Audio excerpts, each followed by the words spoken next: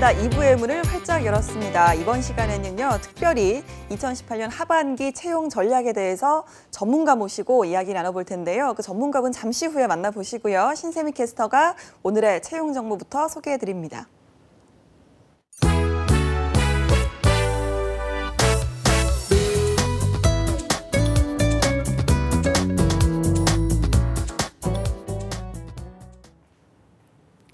네, 취업 정보 알려드림의 신샘입니다. 공기업 및 공공기관 채용 소식입니다. 한국 스마트홈 산업협회에서 사업전략본부의 인턴 사원을 모집하고 있습니다. 경력을 무관하게 모집하고 있고요. 대학 졸업 이상의 학력을 소지하고 있거나 졸업 예정자인 분의 지원을 받고 있습니다. 영어가 가능하거나 유관 업무 경험이 있는 분, 컴퓨터 활용 능력이 뛰어난 분, 통계 분석과 리서치 능력이 뛰어난 분을 우대하고 있습니다. 모집 기간은 11월 30일까지고요. 채용 시 마감될 수 있습니다. 그리고 의정부시 여자 단기 청소년 쉼터에서 직원을 채용합니다. 경력은 무관하지만 전문대 졸업 이상의 학력을 소지한 분의 지원을 받고 있습니다. 문서 작성 능력이 뛰어나거나 컴퓨터 활용 능력이 우수하고 관련 학과 전공자나 운전이 가능한 분을 우대하고 있습니다. 모집 기간이 12월 10일까지고요. 채용 시 마감될 수 있습니다. 다음으로 사단법인 벤처기업협회에서 인사기획 및 인적 자원 관리, 급여 및 퇴직연금, 총무지원 등의 업무를 담당할 대리급에서 과장급의 경력직 직원을 채용합니다. 연령이나 성별, 학력에는 제한이 없지만 관련 분야 경력이 5년 이상이어야만 지원할 수 있습니다. 공공기관 또는 협회나 단체에서 관련 업무 경력이 있거나 문서 작성 및 커뮤니케이션 능력이 뛰어난 분을 우대하고 있습니다. 모집 기간은 11월 12일까지입니다. 마지막으로 한국수자원공사 계열사인 주식회사 워터웨이 플러스에서 국가보훈처장으로부터 취업 지원 대상자로 추천을 받을 보훈 대상자를 채용하고 있습니다. 채용 부서는 시설 안전팀으로 환경미화 관련 업무를 담당할 예정이고요. 성별이나 학력, 지역은 제한이 없지만 만 50세 이상에서 만 60세 미만이어야 합니다. 채용 확정 시부터 전일 근무가 가능한 분이어야 하는데요. 모집 기간은 11월 11일까지입니다. 이상으로 취업 정보 알려드림의 신샘이었습니다. 네, 이번 시간에는요, 특별히 전문가 모시고 하반기 공채 멘토링 알아보도록 할 텐데요. 만나 뵙도록 하겠습니다. 어서 오십시오. 네, 안녕하십니까. 네. 취업이 보인다 2부에 찾아뵙게 된 취업 스킬 전문가 훈남 멘토 강신호 멘토입니다. 예, 저희가 네. 이렇게 2부에서 강신호 멘토님 모셨는데요. 이렇게 또 처음 보는 것처럼 인사를 네. 하시니까 네네. 당황스럽네요. 네, 좀 분위기가 어색해지긴 했는데 어, 1부 강신호, 2부 강신호 어, 아, 다른 다른 사람이다. 인격입니까? 네, 네, 어떤 다중인격. 비교를 좀 해볼 수 있을까요? 네, 1부 강신호는 조금 어, 지적이고 체계적으로 자격증 오. 정보를 전달하고 네. 2부 강신호는 조금 감성적으로 어. 우리 취준생 멘티들을 위한 네. 어, 전문가로서 어. 애정을 담아서 예. 좀 감성적인 부분이 좀 아, 많이 있다. 어, 예. 그래서 좀 따뜻한 멘토다. 예. 일부에서 추억팔이 하지 않겠어요? 어, 추억 그- 실컷 네네. 추억 얘기 하셔놓고 이 2부에서 감성적인 아, 어, 바꾸겠습니다. 1, 2부를 좀 바꿔주시면. 네. 네. 음. 알겠습니다. 오늘 2부는 좀 어, 그럼 지적으로 네. 어, 스킬 전문가로서 조금 냉정하게 가도록 네, 하겠습니다. 기대하도록 하겠습니다. 네. 그러면 뭐, 뭐 사- 상관없는 질문이지만 도대체 몇 개의 인격체를 갖고 계시는지 궁금하네요. 네. 뭐한 뭐 대여섯 개 정도. 대여섯 개 정도. 네. 예, 저희가 차차 예, 네. 3, 4, 5, 6번까지 네, 만나보도록 제가 하고요. 차차 소개해드리겠습니다. 알겠습니다. 이번 시간에는요 하반기 공채 멘토링 저희 취업이 보인다에선 처음으로 또 시도해보는 내용인데 이렇게 좀 갖고 오신 이유가 있을까요? 네. 하반기 공채가 시작 뭐 진행되고 있죠. 네, 예. 중요한 시점이고요. 어, 정말 많은 학생들이 아, 정말 제가 보면 뭐 안타까울 정도로 밥만 먹고 자소서만 쓴다. 음. 아, 라고 할 정도로 어, 정말 어, 많이 집중하고 열심히 준비하고 있는데 그래서 제가 어, 조금이라도 도움되기 위해서 멘토링을 하고 특강을 가고 제가 컨설팅을 하면 안타까운 게 참 많이 보입니다. 그래서 어, 잘 알지 못해서 열심히 하긴 하는데 못하는 부분들 핵심을 찍어서 제가 오늘 말씀드릴 수 어, 말씀드리겠고요. 그리고 오늘 자소서에서 두 가지 어, 이제 무상한 소문이 있습니다. 네. 그래서 그 소문을 어, 한번 진실을 한번 밝히면서 어, 오늘 자소서 활용 skill에 대해서 취업 skill up 하는 시간을 오. 갖도록 하겠습니다. 스킬 네. up. 제가 저- 좀 이거 네, 네, 좀 예. 밀려고 하는 건데. 어, 네. 알겠습니다. 사실 저도 예전에 이제 채용 준비하던 시절을 아, 좀 돌이켜 보면 네, 네. 저는 이 자소서 쓰는 게 정말 힘들더라고요. 아, 그렇죠. 가장 힘든 시간이 저는 자소서를 준비하는 가장 첫 번째 단계였거든요. 네. 오히려 그 다음에 뭐 필기 시험도 있고 면접도 있고 했지만 아. 가장 좀 스트레스를 많이 받던 시기가 이때가 아닌가 싶은데 또 네. 그렇게 막 실컷 쓰면서도 아 이게 또 통과를 할 수 있을까 다음 기회가 있을까 네. 막 이런 생각도 하고 여러 가지 생각이 드는 시기가 이제 자소서를 쓰는 시기이기 때문에 네, 상당히 좀 오늘 내용 많은 취준생 여러분들께 도움이 되지 않을까라는 네. 생각이 드는데요. 네, 네. 뭐 요즘 한창 또 하반기 공채 이야기가 많이 나오더라고요. 네. 뭐 블라인드 채용 이야기도 이슈가 맞습니다. 되고 있고요. 또 은행권에서도 필기 시험을 도입했다 이런 소식들이 전해지고 있는데 자 첫 번째 내용 한번 짚어보도록 하겠습니다. 강멘토의 취업 skill up 뭡니까? 네, 어, 제가 지난주에 아 이번 주죠? 네, 단국대학교로 갔다 왔습니다. 네. 단국대학교에서 기업 분석이랑 자소서 특강을 진행하고 어, 컨설팅을 진행했었는데 제가 단국대를 자주 가는데 생각을 해봤더니 그 단국대 학생이 저한테 아, 메일을 보낸 적이 있습니다. 오, 방송을 준비하면서 그 메일이 생각나서 한번 네. 소개해드리면 좋겠다 라고 이제 갖고 와봤는데요. 네. 뭐 어떤 메일인지 한번 뭐 맞춰보시면 좋을 것 같습니다. 알겠습니다. 어떤 메일일까? 자, 특강에서 만난 학생이 보낸 메일. 네. 굉장히 그 특강이 좀 임팩트가 있었기 때문에 감동을 받았거나 아니면 아. 너무 엉망이라서 아. 항의의 메일이거나 둘 중에 네. 하나 아니겠습니까? 아, 네. 50%. 정확히 말씀을 해주셨고요. 네, 저는 항상 어, 제 입으로 얘기하기는 그렇지만 전자라는 거. 네. 제가 말씀을 드리면서 한번 네. 어, 소개를 해드리겠습니다. 제가 메일 받고 굉장히 놀랐습니다. 왜 그러냐면 네. 이긴 시간을 멘토링한 것도 아니고 그리고 뭐 하물며 one day, 그러니까 한마디로 뭐 하루 정도, 이틀 정도 취업 캠프나 컨설팅을 한 것도 음. 아니었고요.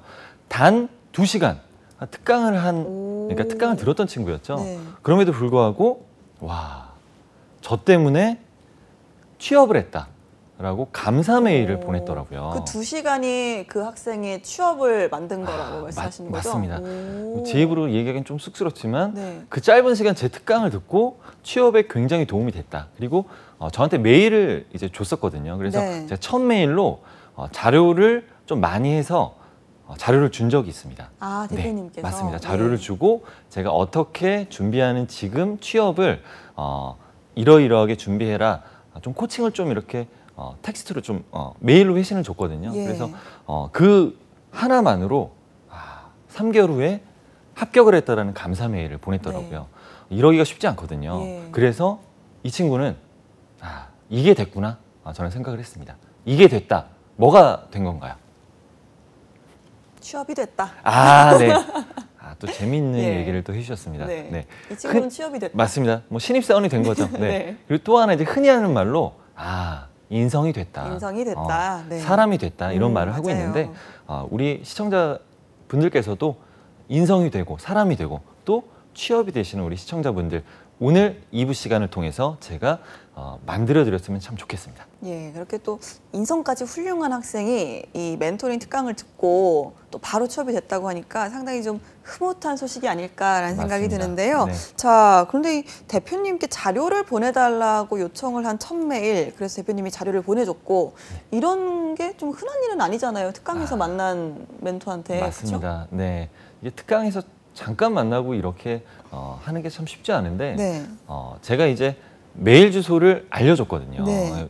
저한테 이제 질문도 많이 하고 그래서 메일 주소를 알려줬더니 저한테 요청을 하고 그래서 제가 이 학생한테 멘티한테 뭐 돈을 받을 수 없겠죠. 네, 그래서 정말 다 무료로 자료를 줬고 음, 여기서 알 수 있는 것이 적극적이어야 된다, 예. 능동적이어야 된다라는 음. 말을 해주고 있습니다. 그래서 이렇게 적극적으로 하는 어, 사람이 무어라도 딱 건지는 거죠. 그래서 음. 제가 자료를 전달해 줬고 특별히 이제 그 자료를 통해서 어, 면접 가이드라인을 제가 어, 줬다. 그래서 예. 그 가이드라인을 통해서 면접을 잘 봐서 잘 어, 최종 합격할 수 있었다라는 어, 얘기를 했습니다. 예, 오늘 방송 보시고 메일 많이 받으실 것 같아요, 아, 대표님. 네. 하루에 100통도 온 적이 있는데 아. 어, 네, 회신은 좀 늦어질 수 있다라는 점 네. 음, 안내드립니다. 알겠습니다. 자, 뭐 저희가 그 학생이 누군지는 다 물어볼 수 없겠지만 어떻게 어느 곳에 취업이 됐는지 정도는 좀 여쭤봐도 될까요? 아, 네, 맞습니다.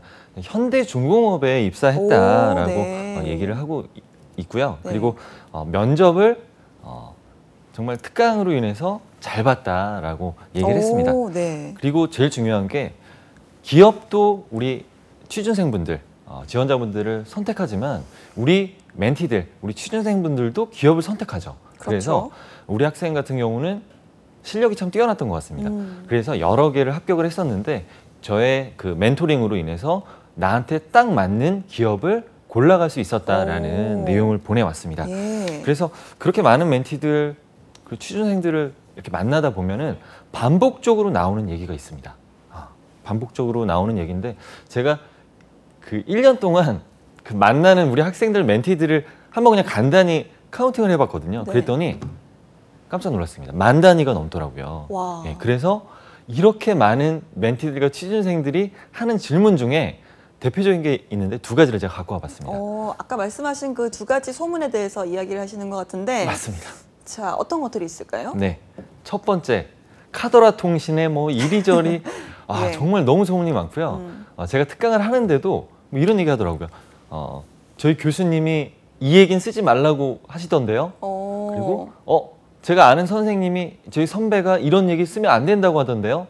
이렇게 물어보는 질문 중에 네. 거의 top 2라고 할 수가 있겠는데요. two, 네. 네. 뭐가 있죠? 첫 번째, 군대 얘기입니다. 아, 네. 남자분들이시네요. 맞습니다. 그러니까 예. 네, 군대 얘기가 있고요. 그래서 인터넷도 검색을 해보시면 군대 얘기 써야 된다, 안 안, 된다. 된다, 어. 이런 얘기가 많이 있는데 어, 요 지금 분위기는 어, 쓰면 안 된다라는 분위기가 좀 많이 있더라고요. 네. 그래서 요 내용 제가 이제 말씀드릴 수 있겠고요. 저는 뭐 군대 얘기를 뭐 잠깐만 한번 해보자면 좀 싫어하실 수 있겠지만 네. 어, 저는 백골 부대 출신입니다. 오. 네, 백골.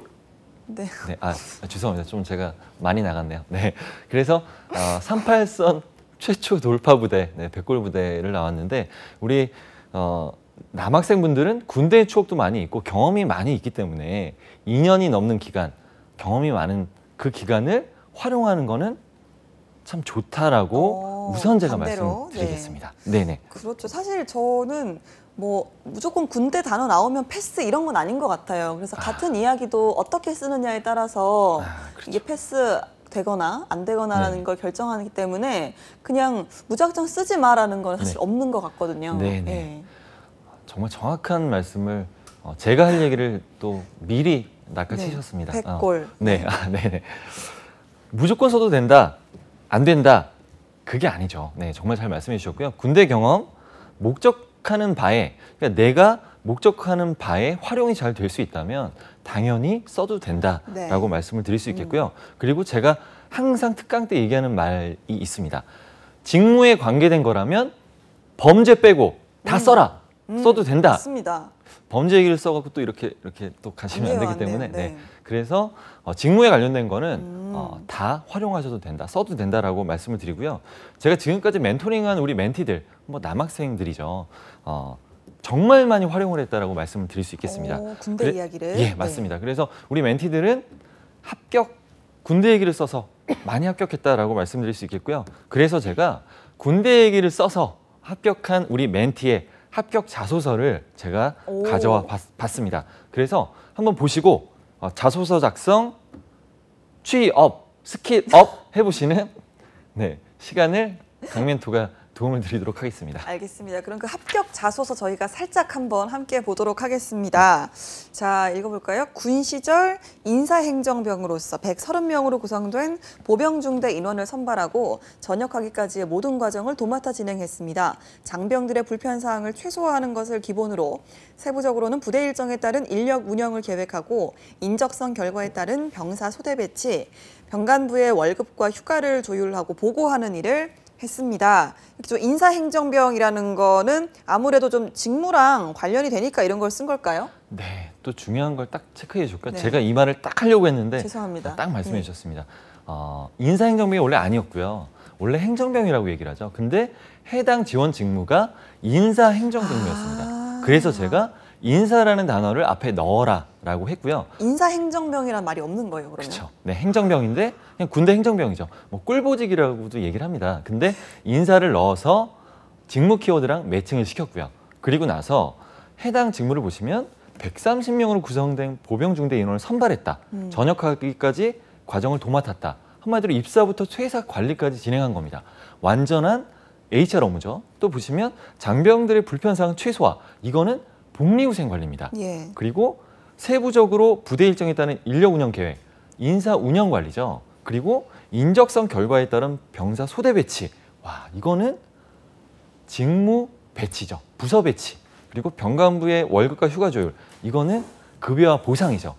완전한 HR 관련한 직무 경험입니다. 이렇게 직무와 관련된 경험이기 때문에 군 시절 경험이라 할지라도 이렇게 기재를 해서 합격을 했고요. 네. 어, 굉장히 좋은 결과를 얻었다 라고 말씀드릴 수 있겠습니다. 알겠습니다. 이좀 어, 합격 자소서만 봐도요 직무와 관련된 상황이면 어떤 것이든 좋은 좋으니까 좀 네. 경험들이 있으면 주저하지 말고 예좀 맞습니다. 또 정확하지 않은 그런 가짜 뉴스에 현혹되지 마시고 아, 맞습니다. 예, 네네. 좀 중심을 가지고 쓰셨으면 좋겠습니다. 네. 자, 자소서에 관한 또 다른 소문 top 2 나머지 하나 더 소개해 주시죠. 네, top 2입니다. 어, 우선 아까 뭐 군 시절 경험을 얘기했는데 그 친구는 참 특이할 만한 게 그 은행에서의 인턴 업무를 인턴 경험이 있었는데 채용 관련 업무죠. 네. 인턴 경험이 있었음에도 불구하고 군 시절 경험을 앞에 쓸 정도로 이 군 시절 경험을 우선시했고요. 네. 어, 중요하다라고 어, 자, 자기소개서에 기재를 해서 이제 합격한 사례고요. 이것도 마찬가지입니다. 어, 여학생들이 또 많이 질문을 하더라고요. 예. 팀 프로젝트 활동입니다. 오. 이팀 프로젝트 활동 경험 같은 경우는 제가 솔직히 말씀드리면 정말 많이 사례를 쓰세요. 그렇죠. 래서 차별성이 좀 낮은 경험인 거는 맞습니다. 아, 그런데 어, 제가 이 패턴을 보면 이 팀 프로젝트를 진행하는데 그 팀원들 중에 한 명이 조금 집중을 못해서 어. 좀 이렇게 뭐, 뭐 이렇게 할 일을 제대로 안 해서 예. 어, 내가 리더십을 가지고 뭐 직접 만나서 설득을 해서 결국에는 팀원들의 화합을 이끌어내서 이 팀 프로젝트의 목표를 달성했다. 이런 패턴으로 정말 많이 쓰시거든요. 네. 근데 아까 말씀드린 것처럼 이 해당 팀 프로젝트 팀 활동의 내용이 나쁘다라는 것이 아니라 정말 차별성을 가지고 이 직무에 관련해서 잘 쓸 수 있다면 활용이 가능하다라고 말씀을 드릴 수 있겠고요. 그래서 이 팀 프로젝트 활동 내용을 자기소개에 활용해서 면접관한테 칭찬받은 제 멘티가 있습니다. 오. 그래서 그 칭찬까지 받고 당연히 최종 합격을 했습니다. 지금 뭐 굉장히 열심히 근무하고 있는데 어, 합격 자기소개서 내용을 제가 가져와 봤습니다. 오늘 이 내용을 보면서 취업 skill up 하는 강멘토가 어, 도움을 드리도록 하겠습니다. 알겠습니다. 내용 한번 만나보죠. 네, 팀 프로젝트로 창의적인 쇼핑 카드와 부엌용 칼을 설계 제작했습니다. 3학년 때는 윤활공학을 재미있게 수강해 연구 프로그램에 자발적으로 신청했고 방학 기간 두 달간 말레이시아 교환 학생과 실험을 진행했습니다.라고 되어 있는데 어떤 부분에서 칭찬을 좀 받은 걸까요? 네, 어, 좋은 말씀 해주셨고요. 어, 우선은 해당 멘티 같은 경우는 외부 활동 경험이 전혀 없었다고 보시면 됩니다. 아, 뭐 보완을 하는. 맞습니다. 그러니까 인턴 활동, 뭐 하물며 알바 경험도 없었거든요. 근데 이 교내 활동이죠. 이 팀 프로젝트 그리고 뭐 실습 내용을 이렇게 자기소개 때 얘기를 했는데 보시면 팀 프로젝트 때 이 쇼핑 카트, 보험용 카를 설계했는데 이 실습 프로젝트를 통한 결과물이 거의 시판 직전의 단계까지 갔었습니다. 네. 그래서 이 경험을 통해서 자기소개에 어필을 해서 음. 깔끔하게 정말 심플하죠. 직무랑 연관해서 어필을 잘해서 합격한 사례라고 볼 수 있겠고요. 그래서 많은 멘티들이 뭐 이런 얘기를 하시고 문의를 하십니다. 아, 멘토님 저는 외부 활동 경험이 너무 없습니다. 예. 그리고 인턴 경험도 없습니다. 아, 어떻게 해야 될까요? 이게 참 자소서에 쓸 얘기가 없는데 음. 어떻게 하면 좋을까요? 이런 질문을 많이 하거든요. 그때 어, 너무 자신감을 어, 이렇게 너무 못 갖는 게 아니라 자신감을 가지시고 지금 가지고 있는 이 교내 활동 그리고 팀 프로젝트 활동이라던가 동아리 그리고 실습 어, 교과목에서 배웠던 모든 것들 경험을 가지고 잘 풀어낸다면 해당 내용으로도 합격이 가능하다. 어, 좋은 자소서가 나올 수 있다라고 어, 확인드릴 수 있겠습니다. 네, 내가 뭐 특별한 좀 외부 활동이나 경험 같은 게 없어도 사실 군대, 팀 프로젝트 이런 부분은 모두가 보편적으로 갖고 있는 경험이잖아요. 그래도 맞습니다. 정말 이 칼을 어떻게 쓰느냐에 따라서 정말 효과는 다를 수 있기 때문에 많이들 이런 부분에서 고민을 하고 정말 뭐 자기 분석이 제일 중요하지 않나라는 생각이 드는 것 같습니다. 자, 강멘토의 하반기 취업을 위한 특강 자소서 관련해서 저희가 궁금증 해결하고 있는데요. 이번에는 어떤 내용입니까? 네, 어, 강멘토가 하반기를 위한 어, 취업 스킬 알려드리고 있습니다. 제가 기업 분석이죠. 아, 기업 분석 정말 많이 합니다. 예. 목숨을 걸고 합니다. 네. 그래서 제가 취업 토크 콘서트를 뭐 자주 가는데 거기서 우리 멘티들, 우리 학생분들이 질문하는 내용 중에 많이 질문하는 내용 중에 하나가 바로 이 질문입니다. 기업 분석 어디까지 해야 되나요? 음. 그리고 어떤 학생이 저한테 이런 질문했거든요. 멘토님, 제가 가고 싶은 기업이 있습니다. 그런데 그 기업의 기업 분석을 정말 하고 하고 또 하고 또 했는데 더 이상 나오지가 않습니다. 음. 아, 어떻게 해야 될까요, 멘토님? 네. 이런 질문을 했더라고요. 그러면 이 질문에 대한 답 어떻게 하면 좋으실지 한번 우리 조선 아나운서가 거의 이제 준 전문가가 되셨기 때문에 굉장히 좋은 답변을 해주시리라 기대를 하면서 제가 질문을 드리겠습니다. 기업 분석을 정말 많이 하고 있는 친구한테 정말 많이 조언- 했어요. 막 이 A라는 오. 기업을 너무 가고 싶어갖고 네네. 얼만큼 오. 진짜 막 직접 찾아가고 막 난리를 부렸는데 더 이상 이제 나올 게 없다. 더 이상 나올 게 없다. 나올 게 없으면 거기까지 딱 하고 다른 부분에서 칼을 갈아야 되지 않을까요? 아, 네. 또 예. 음, 김이 조금 빠지나요? 네. 네. 어, 또 이렇게 한 번에 또 정답을 얘기해 아, 주셔서 맞아요? 네. 아, 전문가 인정해드리겠습니다. 네, 감사합니다. 정말. 예. 어, 제가 특강, 제가 못 가는 특강이 있으면 제가 조선 아나운서께 부탁을 드릴 정도로 어, 이제 네. 전문가가 되셨다라고 음. 말씀을 드릴 수 있겠고요. 정말로 제가 이런 말, 어, 답변을 했습니다. 네. 어, 그렇게 열심히 했는데 어, 더 이상 할 것이 있느냐? 네. 그리고 제가 목표를 물어봤습니다. 어, 목표가 뭐니? 물어봤더니 어, 취업하는 게 목표예요. 그쵸? 얘기를 하더라고요. 당연히 취업이 목표입니다. 기업 분석가가 될 거니? 이렇게 제가 반문을 했거든요. 예. 그래서 기업 분석가가 될 그쵸. 것이 아니라 기업 분석을 하는 게 목표가 아니기 때문에 기업 분석을 그렇게 열심히 했다면 기업 분석은 거기까지 하고 다른 부분에서 더 준비를 하시면 그 밸런스를 맞추는 게 참 중요하지 않나라는 생각이 들고 네. 어, 그렇게 제가 말씀을 했습니다. 네. 그래서 이제 희망 기업에 대한 분석을 했다면 제일 중요한 겁니다. 활용을 하지 않으면 아무 소용이 없죠. 맞습니다. 그래서 그 활용을 잘할 수 있도록 제가 오늘 또 어, 자소서 내용을 갖고 와봤고요. skill up, 취업 가능하도록 바꾸셨어요. 취업. 네네 이렇게 조금 번갈아 가면서 네. 좀 지루할까봐 네. 강멘토가 도움을 드리도록 하겠습니다. 네. 알겠습니다. 자, 그렇다면 이번에는요, 멘토링을 받기 전에 자소서를 좀 보면서 분석을 해보도록 하겠습니다. 화면 보여주시죠.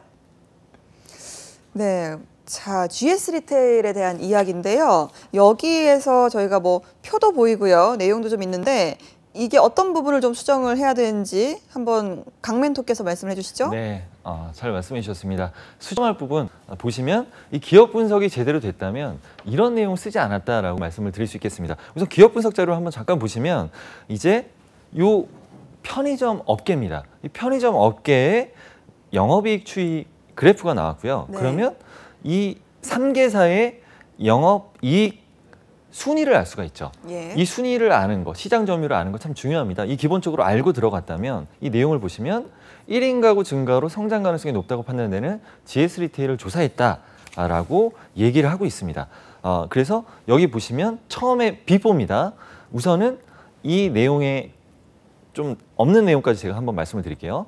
평소 가장 관심이 많았던 GS 리테일 발표를 준비했는데 왜 관심이 많았는지 그 이유를 우선 써야겠죠. 예. 그리고 또한 가지 아, 기업 분석이 순위가 나왔는데 어, 여기 내용에는 없지만 업계 1위를 달성하고자 하는 GS 리테일을 어, 지원했습니다라는 내용이 있거든요. 네. 근데 기업 분석을 했다면 이미, 이미- 영업 이익에서 예, 1등을 그러니까요. 달리고 있는 GS 리테일 아, 기업에게 어 1위를 달성하고자 하는 성장성이 높은 기업이다라고 얘기를 한다면 어 그 로열티 높은 면접관 분들께서 기분이 좀 안 좋으실 수도 있고요. 그리고 예. 어, 이 기업 분석을 덜 했다는 느낌 받을 수 있겠죠. 그래서 그 내용을 포함시켜 주시면 된다는 겁니다. 그래서 1인 가구 증가로 성장 가능성이 높은 GS 리테일 그리고 지금 현재 영업이익 1위를 달리고 있는 음. GS 리테일 음. 해당 성장 가능성과 1위 유지를 하는 이 기업에 내가 입사하고 싶다라고 표현을 해준다면 훨씬 더 좋은 기업 분석을 활용해서 자소서 작성을 한 케이스다라고 예. 말씀드릴 수가 있겠습니다. 예, 이거 같은 경우는 기업 분석은 열심히 했는데 활용을 좀 못한 케이스이기 맞습니다. 때문에 네. 열심히 만든 자료 조금 더 꼼꼼하게 훑어보셨으면 좋겠습니다. 음, 네. 저희가 오늘 이렇게 강신호 대표님과 함께 1부에선 자격증 정보, 또 2부에서는 어, 하반기 취업 멘토링까지 들어봤는데요. 한 시간 동안 함께 해 주신 강신호 대표님 고맙습니다. 네, 고맙습니다. 네, 취업이 보인다. 오늘 준비한 내용은 여기까지입니다. 저희는 다음 시간에 다시 찾아뵙도록 하겠습니다. 함께 해 주신 여러분 고맙습니다.